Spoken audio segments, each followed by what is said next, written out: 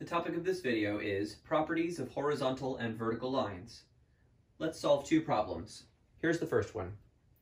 Find the equation of a line that is parallel to the line x equals negative 12 and contains the point negative 5 comma 1.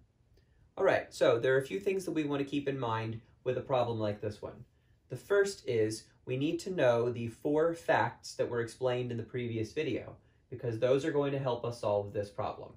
For example, we need to find an equation of a line that's parallel to x equals negative 12. What kind of line is x equals negative 12? x equals negative 12 is a vertical line.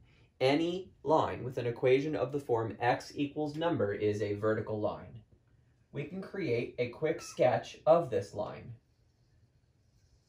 We know that x equals negative 12.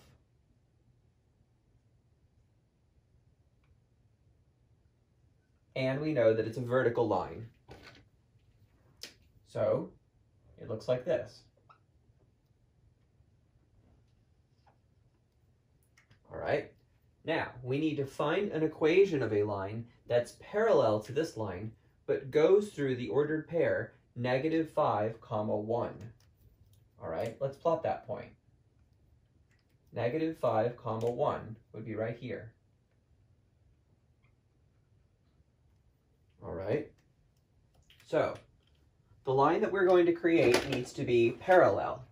Parallel lines don't touch.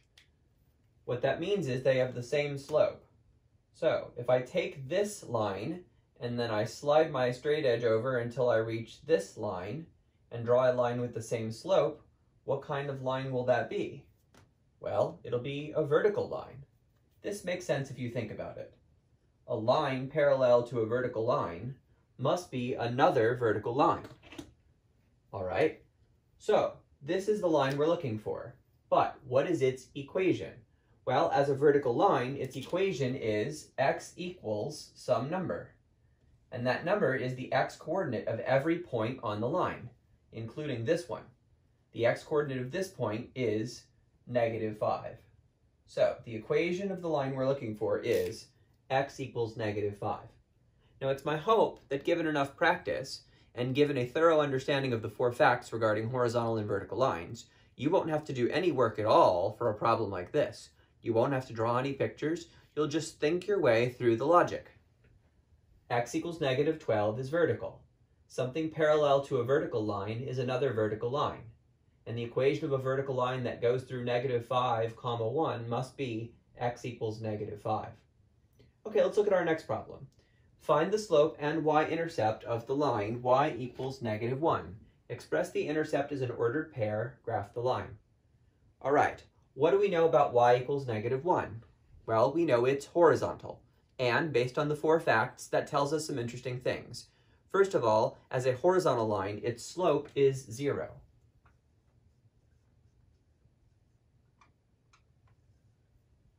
Next, we know that if a line is horizontal and its equation is y equals negative 1, that this number right here represents the y-coordinate of every point on that line, including the y-intercept.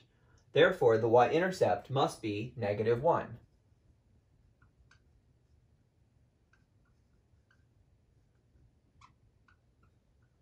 As an ordered pair, that would be the coordinates 0, comma, negative 1 because for a y-intercept, x is 0. Okay, so we found the slope and the y-intercept. The only thing left to do now is to graph the line. We know that it's a horizontal line, and we know that the y-intercept is negative 1. So we'll plot the y-intercept first.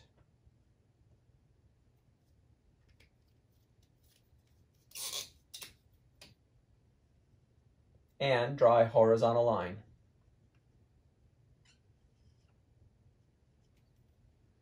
As with any graph, it should be labeled with a y on the positive side of the y, an x on the positive side of the x, as well as a scale.